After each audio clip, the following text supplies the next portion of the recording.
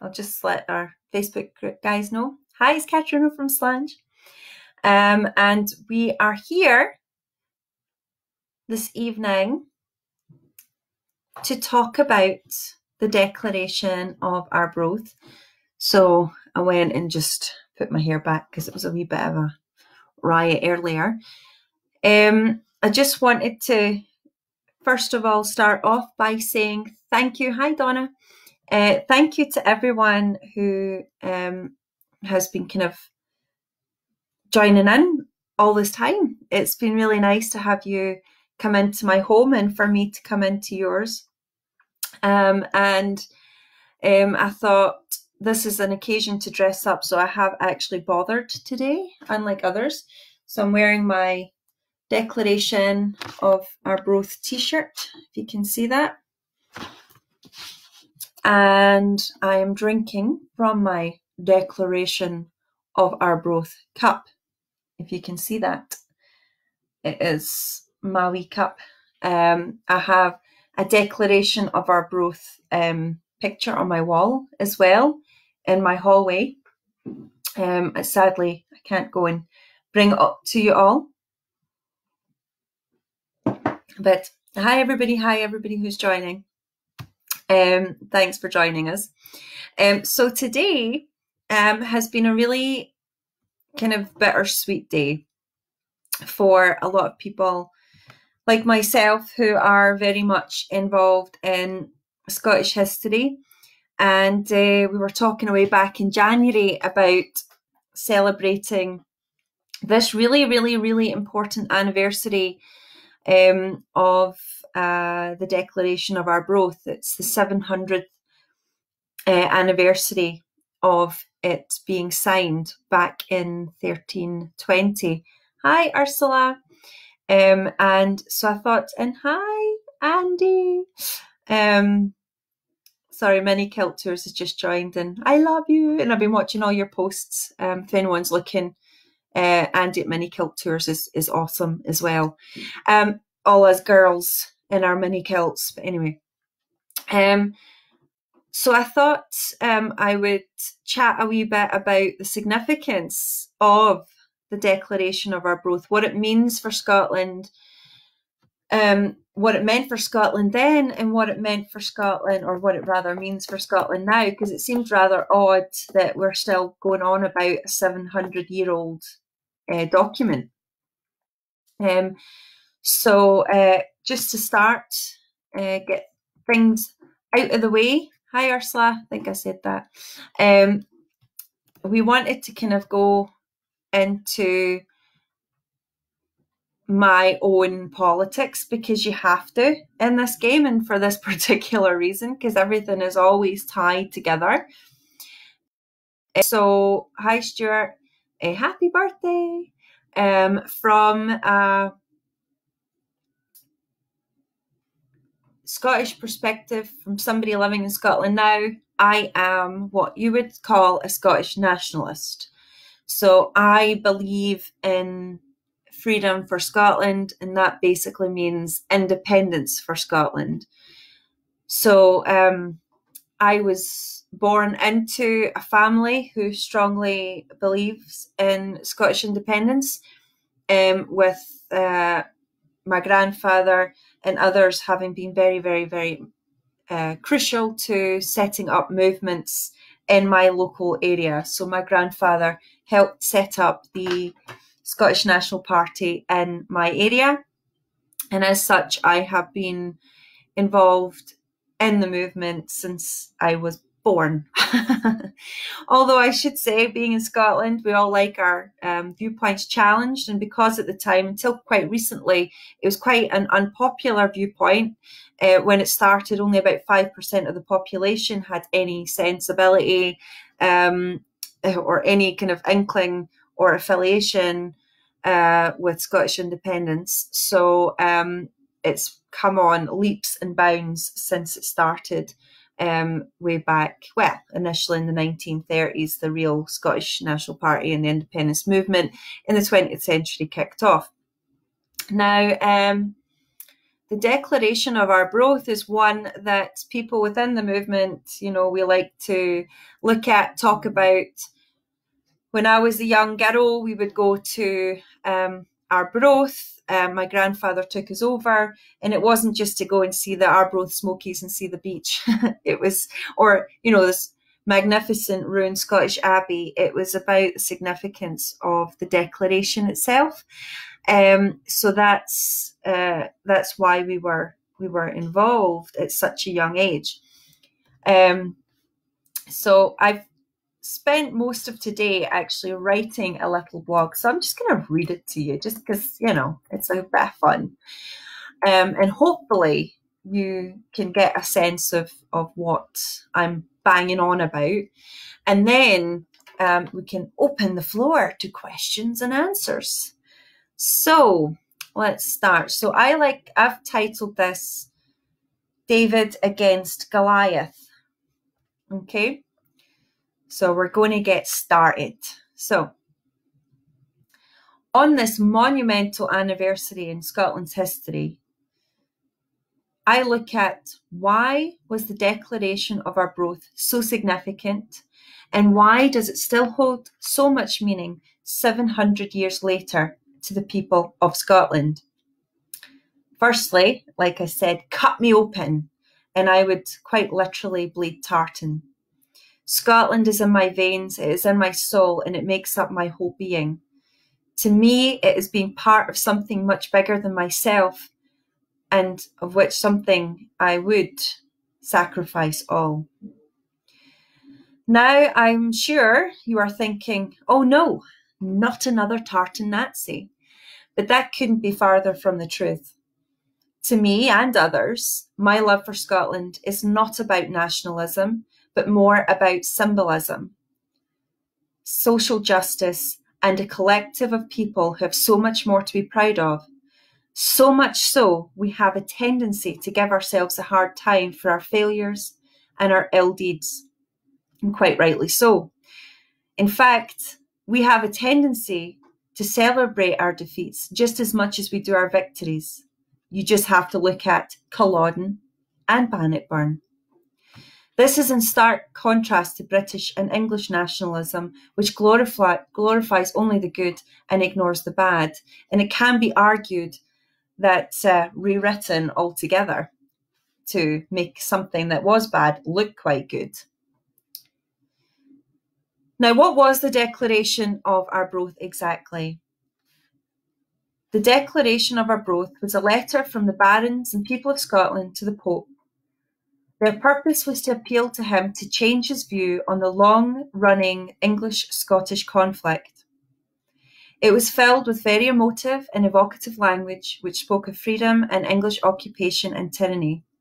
The most famous excerpt being, As long, which is what's on my t shirt, guys, as long as but a hundred of us remain alive, never will we on any conditions be brought under English rule. It isn't truth, not for glory, nor riches, sorry, I can't say that, nor, nor riches, nor honours that we are fighting, but for freedom, for that alone which no honest man gives up, but with life itself. So this was a significant plea which was led by the heretic Bruce. And even so, the church decided to finally accept Scotland's cries for help. This was aided by the fact the letter was signed in one of our most important abbeys at Arbroath, and with the blessing of the Scottish clergy of the day. Most importantly, and this is the most significant part, guys, the nobles who signed it were holding the Scottish king to ransom in that he must adhere to the interests of the people of Scotland. If not, he would be replaced. Now, Bruce often gets a lot of flack for being a crazed megalomaniac, but ultimately, he was the first to really accept the people of Scotland, um, or really accept that the people of Scotland were sovereign and that he, in fact, served them. And this is all taken in a 14th century kind of context kind of way, um, because equality still had a long time to go, and by all means, and we're probably still not even there today. But nevertheless, this was a, such a powerful plea and a mandate that not only did it help cement Scotland's place as a recognised independent nation in all of Christendom, but it was modelled by other nations looking to secure their independence. It was even used to write the United States of America's very own Declaration of Independence. Now, I just think, is that not incredible? How an insignificant wee country like Scotland can make such a stamp on the Catholic Church and the rest of Europe. And as a big and powerful country like England, to have to accept the will of God, essentially, the Pope defined the will of God. So that is what Scotland is, and to every Scot who has fought against all odds for the sake of their freedom, their rights, and their convictions. Throughout Scottish history, without that document, I do believe that we may have a starkly different culture. We probably wouldn't have had the Reformation, which, although some may see as a blight, gave everyday people access to God, gave them power to read the scripture themselves, and most importantly, think for themselves, at least initially. This can be seen further down the line through the Enlightenment, the Jacobite risings, the 1820s risings, and even more recent social justice and labour movements. They were all sparked in Scotland and spread to every corner of the globe. Now, admittedly, we were not always as lucky as we were in the 14th century in gaining the Pope's blessing. Since then, we have lost so much by being colonised and, and, indoctrinated by the English elite who control Westminster to this very day. It's been an unpopular, um, it had, well, it's been deemed unpopular to want freedom. It seems awfully unnatural to many in Scotland and British people who cannot understand people in Scotland would want to be democratically free from the shackles of Westminster. Our identity has been slowly chipped away from our languages to what we see in the media and our Scottish history and traditions. You could say that this that it has all been taken, cleansed and sold back to us for the price of the oil they found in the North Sea. Now I'm painting a rather depressing picture, but it's because of the above that my heart absolutely bursts for, with pride for those who didn't sit quietly, those who, in some cases, martyred themselves. And guys, I, I refer to that because I will be doing a piece on the 1820s martyrs on Wednesday on the anniversary of the storming of the Greenock prison here. We then also have people like my own grandfather who faced the vile vitriol his entire adult life for his desire for democracy. To the people who are no longer with us in more recent years, but without whom we wouldn't have what I really am proud of, the Yes movement as it stands. They did the groundwork and I thank them for it. I also speak for folk like Kay Matheson, wee Jim Riddle, Big Tam, and so many more. Thank you. So, to me, the significance of the declaration of Our Arbroath 700 years later is that it's basically the might of David against Goliath. That against a giant where it's always so easy to feel powerless and submit. We, the Scots, instead, realizing that we hold all the power through our dedication to do and believe what's right for our countrymen and women, for our future, and for that of others. And at some point, some point, we're going to have our own declaration of Arbroath moments, and someone is going to listen. And I'm looking at you, Europe, wherever you are.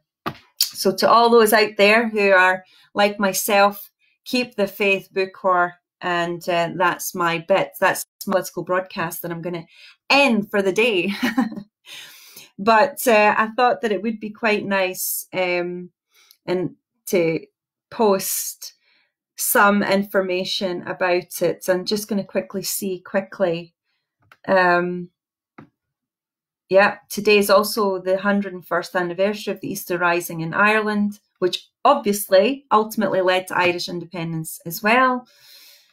Um, so that's all good.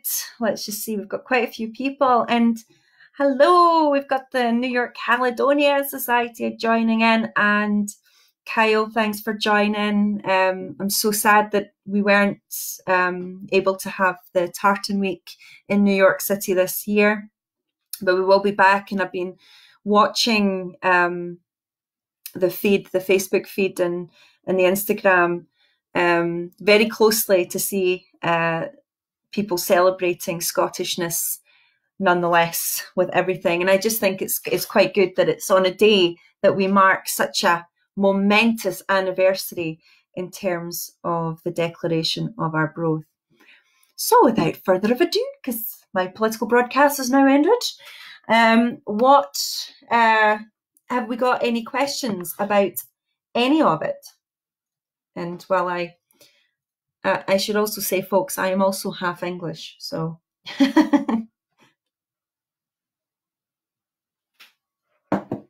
Here we go. So it's just a bit, it's always like this, a bit of a delay. Hi everyone that's joining. Nice to see you. Hi Chaz. Got Christopher Watt. What I'm going to do is actually post this um, article. You will be able to view it at some point um, because I have been um, busy with it. Um, I wrote that today and I thought it would be a nice little piece of patriotism to mark such a monumental um, anniversary, um, but also just the kind of sentiment of what that means to Scot, well, to a lot of Scottish people today, and um, and that we've always been a slightly more egalitarian um, people, you know, with the social justice movements and things like that. And I honestly believe that it comes from the declaration of our Uh, it's always about being the little guy, knowing what you're doing is right, going against all social norms, all the kind of I mean, it's so much easier to to roll over. So much easier to say, yes, that's fine. I'll just let's leave the status quo. And as Tom said, people in Ireland rose up and and they got their independence. But um, there you go. Hi, Jackie. Um, hi, Jane. My lovely Jane. I love you. Uh, Jane Ireland. I'll just put a wee shout out once this corona is all down and gone. Um, Jane and her son run one of the nicest um, little uh, bar and restaurants um, near Loch Lomond called Slainte, again, like our name, um, and just the nicest and best people on this planet. Um, the place actually used to sit, um, it's an old church, and it was, uh, it became the clan centre for the Clan MacFarlane. So if you're interested in anything to do with MacFarlane's, you go to Slainte in Tarbert. Um, hi, Jackie, and it's great seeing you. Actually, I've been jealous looking at all your Alaska pictures and your bald eagles, and it just looks absolutely magic. Um, so I hope you're staying safe. Hi, Des. Um, we've got Alex. Alex, I love you. I needed a wee English one person to come in. Um, so your Alex has asked if Scotland got the independence before, why now are you still not independent? So that's a very good question. um, so Scotland has been a country, has been a nation, uh, an independent, recognised nation since 843 AD. So very, very, very, very, very long time. And um, obviously, from about the time, well, it was just after the death um, of Alexander III that uh, we were left without a monarch. So it put Scotland into um, basically a potential um, onset of a civil war to determine who was going to be our next king. Because obviously, Alexander III's granddaughter, Margaret, uh, died on their way back to Scotland. So um, we had no monarch. So Scotland asked our nearest neighbour for help in selecting um, a uh, a monarch, a new ruler, um, and they asked none other than Mr. Edward Longshanks, Edward I himself, um, who was very busy in a European context of an expansion Um, he was, you know, you know when you're building an, a, uh, an extension to your home and your conservatory. Well, Edward the the first of England was doing that in terms of countries he was going to to take in and to invade and conquer. Um, and he was doing that in Ireland, in Wales, in Cornwall, and in France. Um, and he set his sights on Scotland. So what he did is he elected a guy called um, John Balliol, who's known as the Puppet King, and he basically sent in English forces and occupied Scotland during that time. Um, so that was a big a big issue for a lot of Scots, and they rose up. And um, it was when John Balliol kind of said, "Finally, this is enough."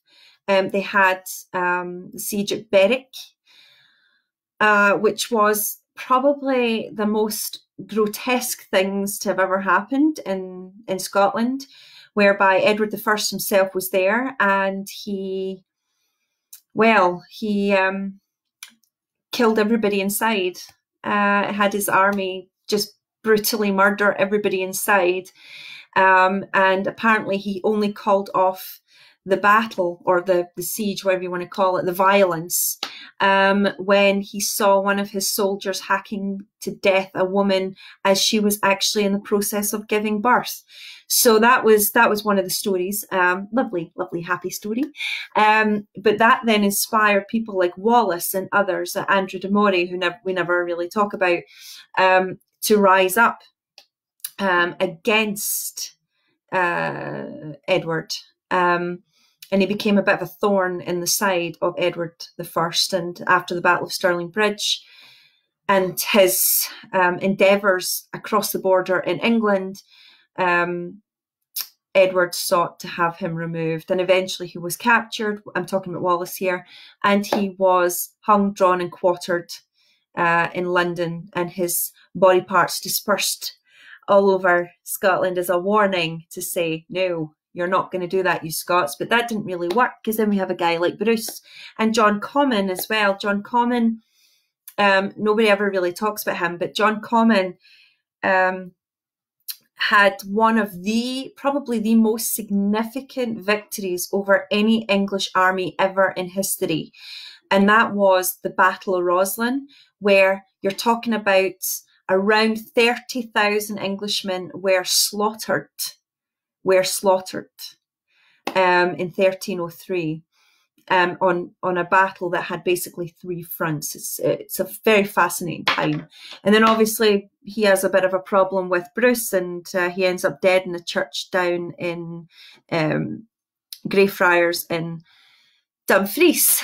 Um, so that was uh, that was a major no no from the sense of the uh, the Catholic Church or the hierarchy, the kind of top of the Catholic Church, the popes, popes, I have to say, because there were two at the time.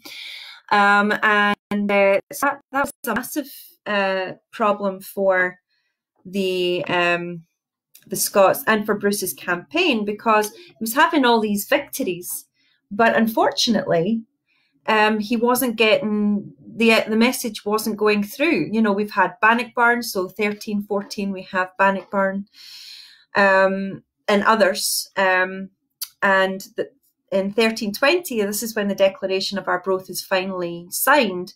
So this is six years after Bannockburn. So that's Edward II. So by this point, Edward I has actually died.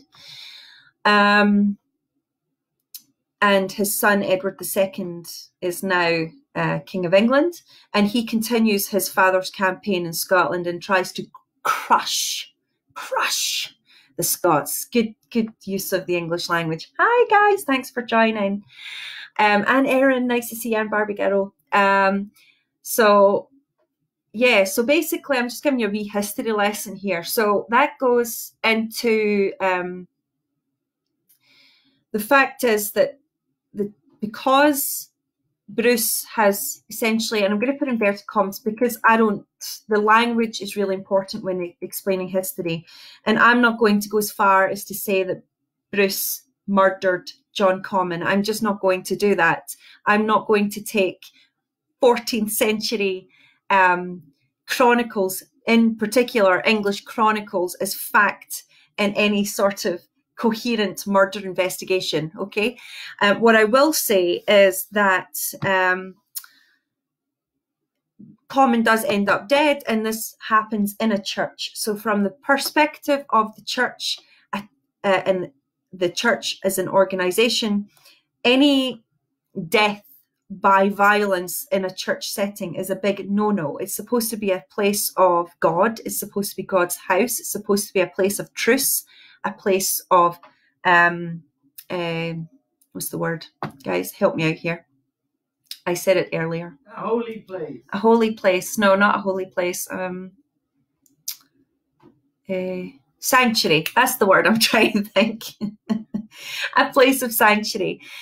So um, Bruce was kind of shunned for that. He was seen as a heretic for what he did, and the English really bigged that up um, to the kind of powers, the, the church establishment of the day.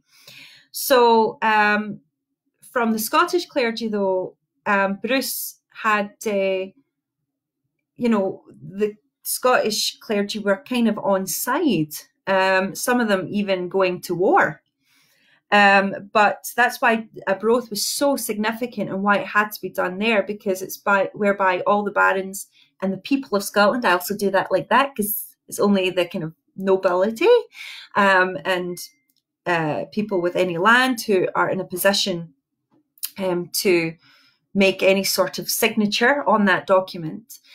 Um, but it was done at Arbroath Abbey. So it was done in a place of God, in the house of God uh, one of the most important houses of God in a Scottish context. And uh, then it was sent to Rome, and therefore they, are saying Rome, it was actually France. Um, but it was then, it had to be then accepted, and it kind of um, cemented Scotland's independence. Um, Scotland had never essentially lost its independence, it was just trying to maintain its independence. Now, to what Alex had asked before is why is Scotland still not independent now? Well, um, a long story, and it comes from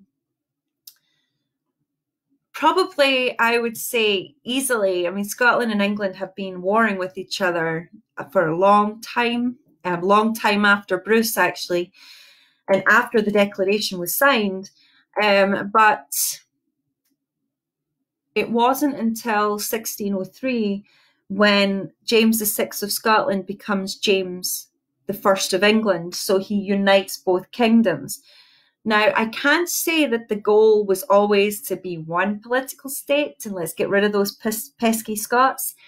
But, um, and I can say that his descendants were not so uh, much for the notion of a united kingdom of Great Britain, as we now know, a political union the dissolvement of Scottish independence and essentially English independence as well, um, to become Britain, the, the nation of Britain. Um, that was signed away eventually in 1707. Um, it's it's one for another day, to be fair. Um, it was down to a lot of uh, well, there was a lot of bully tactics in going on. You have in 1705, you've got what's known as the Alien Act, which in England they declared any Scottish person would be considered an alien if discovered because Scotland was still trading with their enemy France. Um, there was, let me think, there was obviously um, the usurp, the usurper of William of Orange and his uh, wife Mary, who took the throne from a Scottish Stuart monarch, essentially, James VII. Um, and that started to change the mentality. We started to see more English politics play in Scotland. And I mentioned briefly about that on our Glencoe section the other night, and also our Jacobite section. Um, and then you see the conditions of the Act of Union in 1707. Eventually, they got it to a place which was deemed acceptable to some of the powers that be, such as um, the church, the kirk initially the Kirk, um, the Church of Scotland, was not behind the idea of uniting with England. Um, it was uh, only after the um, English, I have to say, because that's where the, the document comes from, made a proclamation, if you like, within it that Scotland would always have the the Kirk as their main church of state. So that managed to get them on side. Only one percent of the people of Scotland at that time roughly did have the right to vote. So when it did vote, it was in fact very close. Um, and there was um, a threat of English invasion if they said no. And they had not long had the um, First Jacobite War um, in the uh, 16 late 1680s. So this is a really important um, time in Scotland, and basically we signed our independence away. Um, I could go I could go into it so much. Um, it's uh, it's a really interested uh, in, interest. It's a really interesting topic and one that I think a lot of people don't really know much about um, because they Scottish history is not properly taught, and if it is, it's kind of watered down to such a degree that it's hard to really form an opinion either way. Um, so that's really important um, from a from a Scottish uh, perspective and why it's it's not so mainstream or you don't see it uh, as much. Sorry, I'm just reading some of the comments here. We've got some people are quoting Robert Burns. Um, so you a declared admirer of William Wallace. Aren't we all? Actually, honey, you've got the, the Wallace tree there. We actually have a piece of William oh. Wallace's tree. You've yeah, got yeah. it. We've got a piece of the Wallace tree that they chopped down. The Wallace project. Look at that. That's this is how far we go. this is helmet who got this from a friend, another patriot. Um, and this is um, from the Wallace tree. I know I'm kind of going off Arbroath here a wee bit, but it, it's through the same vein. Uh, Sir William Wallace, after his capture at Robroyston near Glasgow on the 3rd of August 1305, was taken to Dumbarton Castle and held overnight. The next morning, he was taken across the River Clyde to an area now known as Port Glasgow, where, according to local legend, he was chained to an oak tree by his captors before being handed over to English troops for his transfer to London and his judicial murder. I love the language here because it's so true. His, judici- his judicial murder. Murder. God, Catriona, it's getting late. This oak tree survived until 1995 when, in what is now the, gro- the grounds of the Holy Family Church, it eventually fell during a winter storm. The Society of William Wallace, supported by leading, oh, I can't read without my glasses on yeah, let's just say by Dr. Coralie Mills verifies that the piece of wood in this package is from the legendary Wallace Oak in Port Glasgow. So it might not, the legend itself might not be true. And who wants to see a piece of the Wallace Oak? Wallace is said to have touched this. Well, against his will, right enough. He was chained to it. But here is the piece of tree.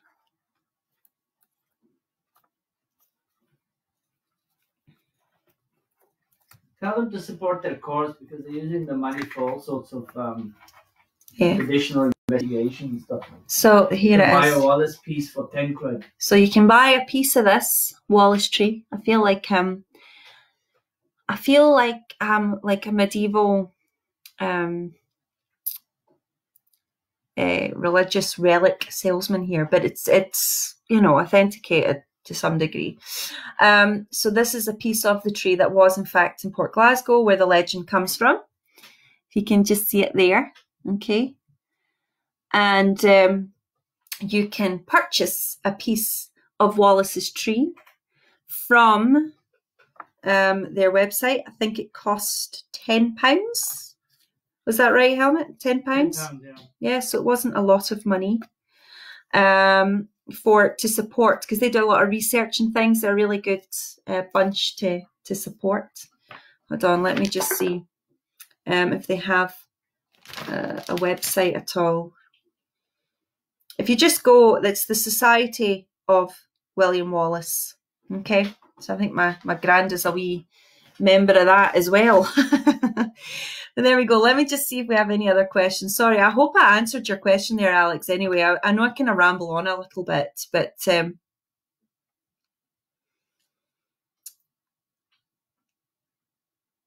so um, hi, Crystal. Nice to see you. Put your glasses on then, Hen. where are they? Where are they? Um, so let's see. Uh, it is quite sad that, that the history is not properly taught in our schools. I have to say, it's not the best. Um, sorry, Lenny has come in. Scotland did sign their independence away, but with the proverbial gun to our head. Yes, that's what I was trying to get at before with the kind of army um, threatening at the Scottish border. Um, so that was a that was a big uh, reason for it. But I suppose that's why um, a lot of people have kept kept the fire alive.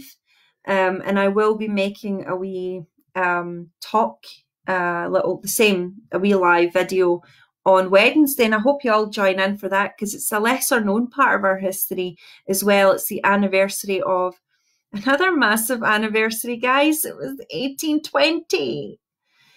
1820 on the 8th of April, 1820.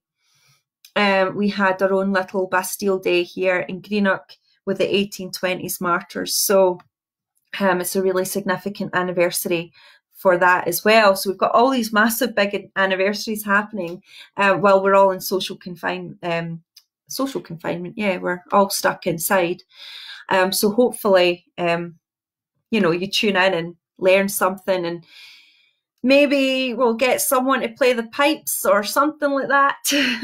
Just to, you know, I've got Stuart McMillan often goes and plays the pipes for us down in, in Greenock for the anniversary for that. Um, and I know that there's a lot happening live at the moment. If you go on to Facebook and other places, there's musicians playing things like that um, for the declaration. So have we got any other questions? Because we've still got a good 20 minutes, guys. Um, for such a significant date in history. Um, to save me rolling on though, has anyone got anything you'd like to add with my declaration of Arbroath Cup?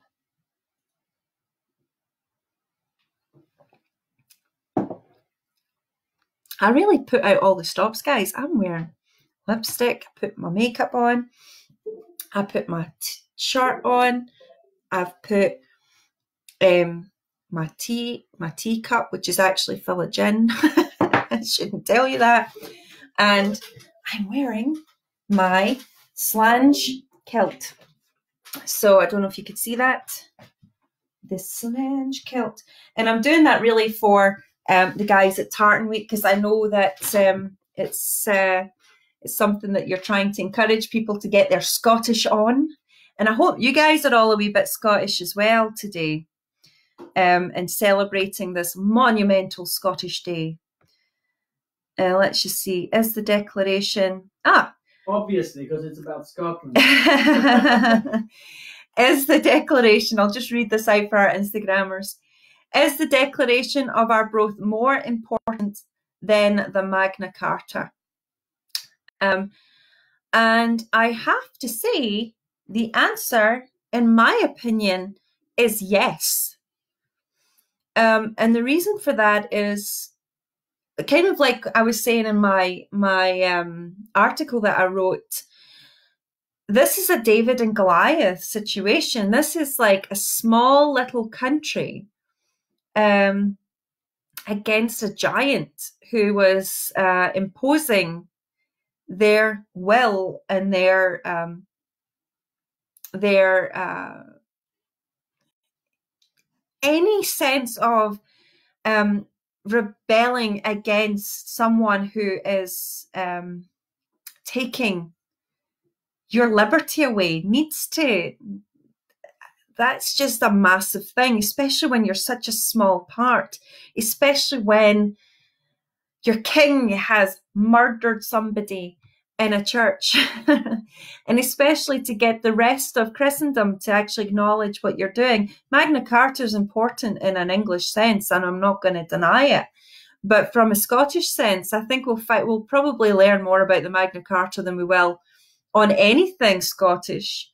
Um, and i think that from an English perspective, and I think, uh, and I do apologize to any of the English people listening because it's not meant in an anti English kind of way, but it's just the nature of what happens when a larger, a larger partner uh, is, is sharing your uh, laws and your media and everything else, the larger party is always going to have more prominence than the little ones. So the likes in Northern Ireland, I mean, I have to say, I know almost nothing about Northern Ireland from a like a general sort of sense. I have absolutely no idea about the geography. I have no idea really about much of the history other than the history that has something to do with Scotland, um, or maybe a bit more recent history. Um, and the same goes for Wales. I have absolutely no real idea of Welsh history.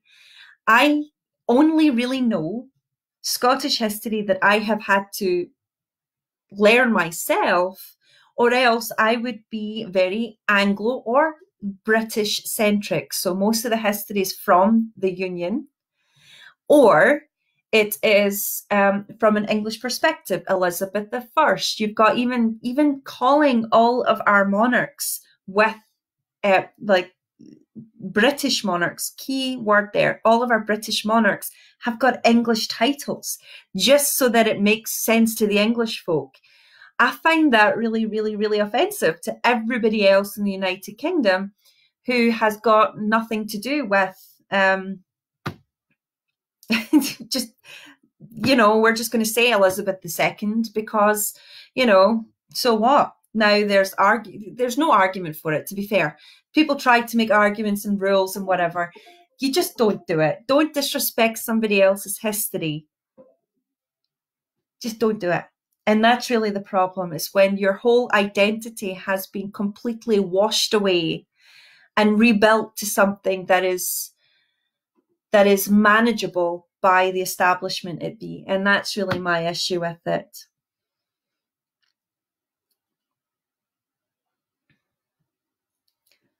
So I like that. Always a wee bit Scottish, especially on a day as monumental as today. That's night. Every day a bit Scottish cat. Uh, you hired a kilt from Slainte Kilts in Edinburgh last year. That's nice. Uh, they're not the same company as us. We're just like that word because it means health in Gaelic. So um, there you go. Um, the declaration of Arbroath isn't spoke about. English like to think they are more superior than anyone else.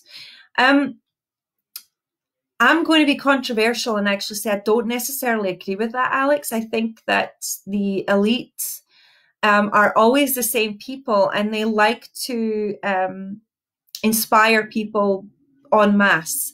So if, if I am um, looking at explaining something historical and, and it's going to make me money or informative to the majority of the people, I'm going to do that to the majority of the people. Scotland makes up 8% of the Scottish, uh, uh, of the uh, British population.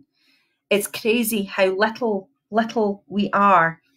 England um, is, is, well, what's England? We're about more than 10%. It's like 12% or something larger than we are. It's, it's massive um, the difference. So I wouldn't say that there's a superiority there. It's a it's just from what you know and what you're told, and what you're told is said to you to keep you on side and all the rest of it. But there we can go. Um, 300 years of cultural genocide, which isn't widely accepted even by Scots. Um, I was mentioning this chap before because he is, like I told you, like one of my favorite human beings, and that is uh, Professor Murray Pittock, and he does a really great talk Um, you can find it. I think I found it on Vimeo, um, and it's about British identity. What is Britain? What is it? What is the British uh, national identity? Is it a myth? So um, he puts a really good argument together that ultimately what happened was um, in the 19th century, the beginning of the 19th century. So when we have like George the Fourth, when he comes to Scotland, and for like he was the first monarch to come to Scotland in 200 years, right? Um, he, hold on, have I got that right?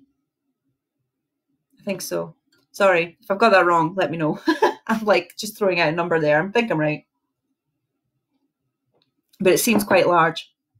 So um, the problem with George IV is that when he came to Scotland, he famously wore this really ridiculous kilt and this weird kind of apparently ha- he had like a badger sporting on and he just looked a bit of an idiot.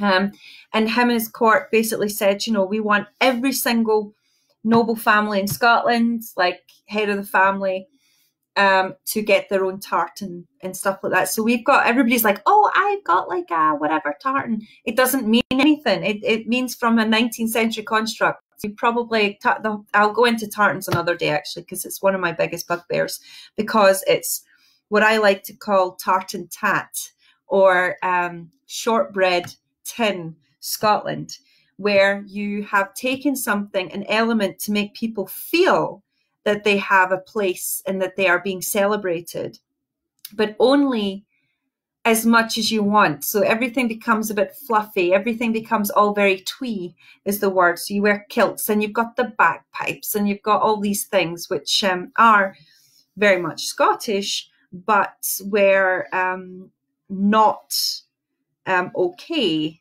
um, according to the British establishment before um, the 19th century, and it's this kind of sense of expansionism in the British Empire, where they're going to all corners of the globe, uh, India, Africa, uh, Australia, all these different places, Canada, and what they're attempting to do is to get the Scots on side and to be proud to serve the queen's the queen and country victoria and her country uh, in their new exploits. So that's why we have all the regiments. They're very proud to be of that particular regiment.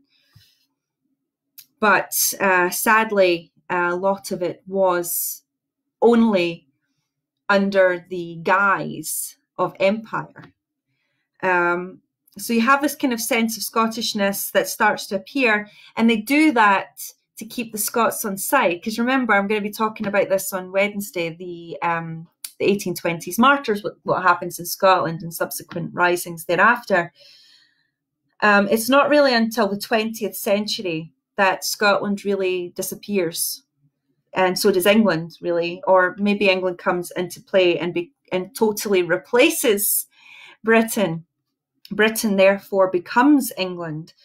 And uh, one of my other favorite people, I forget his bloody name right now while I'm sitting here. Another, he's actually a lecturer at St Andrews University. And he said, think about this for a moment, guys. Think about this one thing. How many well known, popular pieces of writing or literature are set in Scotland. Okay? By an English author, essentially by an English author. Think about that. How many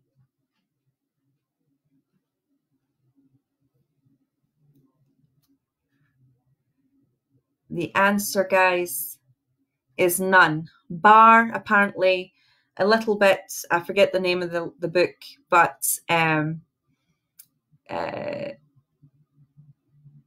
uh, what was it? Um, Virginia Woolf. She set a story in Skye, but uh, if you read it, it could have been in anywhere, anywhere in England, in a little chocolate box village that's set on Skye. Um, the other, only other Scottish um, piece of literature that comes from England is something called Macbeth by Shakespeare where um, the sense is to be anglicized and um, less barbarized. Um, so they changed the word thane, which is a good Scottish word for an earl. So the thanes become earls. And this is because they're trying to show that the new Scottish king is going to be very English. And it was a very popular idea that we're not going to be taken over by these Scots. Um, they will be uh, assimilating into the proper English civilized culture.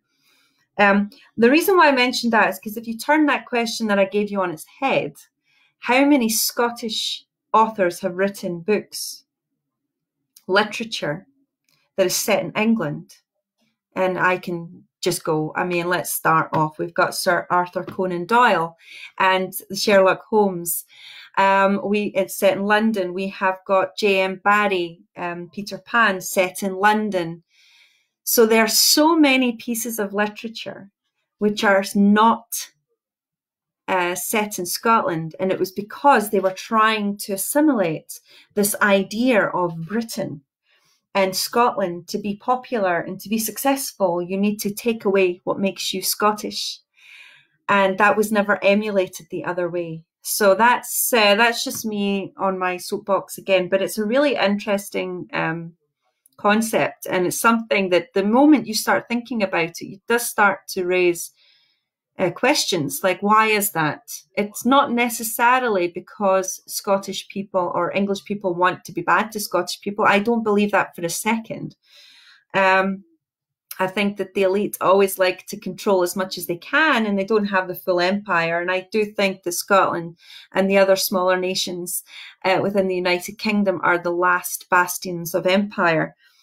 Um, but uh, yeah, it's uh, it, it's more about who controls you. So I just want to read what Tom's saying. When the Crown forces were trampling over the Irish and Scots, wasn't really the ordinary Englishman who was doing it, but political forces from the ruling elite. The ordinary Englishman or woman was just as much cast down in a lot of ways, I believe. And I totally agree with that 100%. Um, a lot of people don't. Um, I think a lot of people, and I mean, I was part of some ridiculous post the other day in this history group, uh, Tom, that I found you on. And it was about William Wallace, and I can't remember what it was. I think someone said that they were somehow related to Wallace. Um, but it started this really anti English sort of bile, which started to come from people um, which was really sad to see because they had no idea what they were talking about. They were using justification for their hatred and their their um, racism um, because of Braveheart. So uh, I find that's not the best way to look at things. The English, the average English person was in no way um, no way better than than somebody else. Uh, and I think that's a great idea. I just like it dark because I think it's better on my face. Because then I don't have to show it off to you um, as much, and I can look better than what I actually do. Um, let me just see. So we've got, and despite all that, despite our national tendencies, we would just like to wish Boris Johnson well and make sure he makes a full recovery. I would like to reiterate that. We've got very political tonight, um, but I think it's important to say that um, the head of uh, the British government at the moment and a party that we usually um, are very much against, the, the Conservatives, um, Boris Johnson has just been sent to intensive care um, with the coronavirus, and um, we would like just to wish him well and to make a full recovery because it's not nice. And um, no matter what your political persuasions, you shouldn't um, that shouldn't overtake your your um, position on normal human decency and goodwill for others, even if they hold a different opinion to yourself. Uh, so yeah, I think I know he's. I don't know if he's on a ventilator. I I literally saw it not long before I came live, so I didn't really read all of the um the information on it. All that all I saw was the headline that he was moved to ICU, which is intensive care. Um, so yeah, I, I, I very much hope so too. Especially he's got his um his partner has also tested positive, and she's, as we all know, pregnant, and it's a, it's a real horrible thing to to have to go through. While we're on the note the note of Corona, uh, actually, I just wanted to just send out uh, my love to one of um, my customers who's in the States, but she's originally from Italy. Sadly, she has lost um, three members of her family in just a week. Um, is serious, guys, and as much as we are all trying to stay positive, it is important that we all, you know, keep to the the the medical advice. Look after yourself. Stay at home. Please stay at home. I'm doing all these videos from my home. Just and and as Anne says, and it's dark and it's may may look a bit dingy, but um, I'm doing that to promote safety and just give you guys a little bit of something nice to look forward to and to chat about from a Scottish context, um, and just to look at my big face. Uh, but there you go. So I'd just like to send all my condolences to um, to your family. Uh, you know who you are, and much love, and hopefully um, this passes soon. Um, so you're very welcome. Yes, we're just uh, not long. We're just uh, finishing. I'm just reading some of this chat. Um,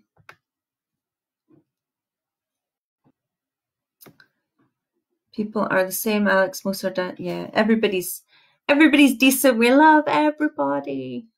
Just don't be nasty and try and dictate somebody else's country's politics. That's all we ask for. Um, so no, there's there's some really lovely messages coming out.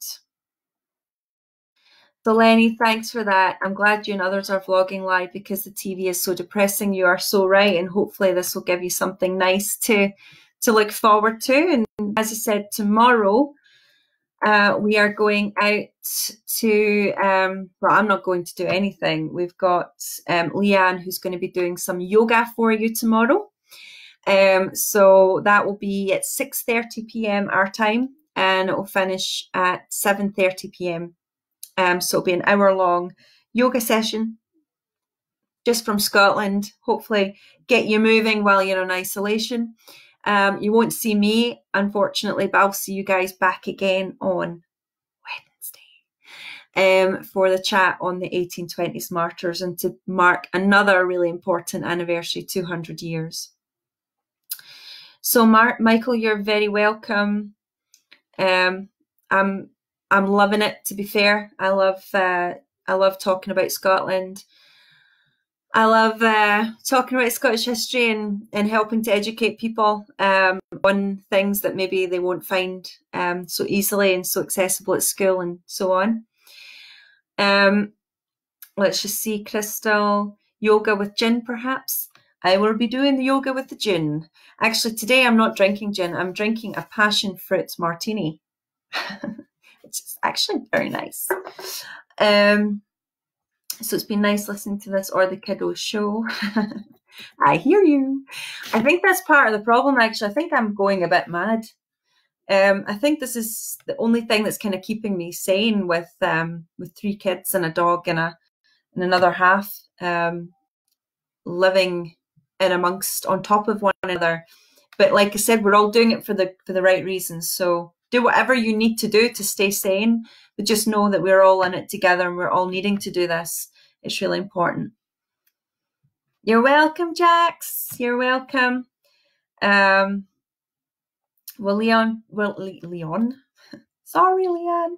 Will Leanne uh, be on the Slainte Scotland page? Yes, she will. Leanne will be here tomorrow night. Um, let's just see. And Michael, my wife, and I were fortunate to experience Scotland last June, especially our trip with Slainte. Thank you. You are very welcome. Um, hopefully, we'll be back to doing this again. Uh, back to touring. As I said before, Scotland's waiting we can wait. It's waited all this time since 843 AD as an independent nation. So uh, there you go. So anyway, thank you very much, everyone. My time is going to be up in a second. So I just want to thank you all for for taking part, and I hope I educated somewhat and on some of the elements of Scotland and and the uh, the history leading up to the the declaration of Arbroath. And we'll leave it there. So thank you all. See you all tomorrow. Slainte. Good. Bye bye.